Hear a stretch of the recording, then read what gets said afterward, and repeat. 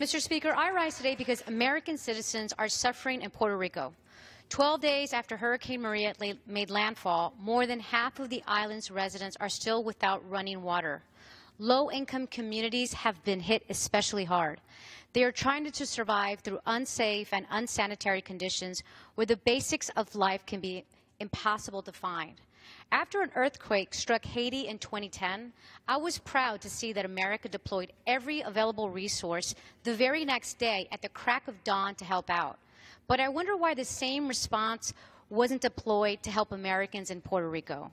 I call on the administration and Congress to ensure that Puerto Rico receives the emergency aid it receives, it needs now, so we don't lose more American lives to the storm.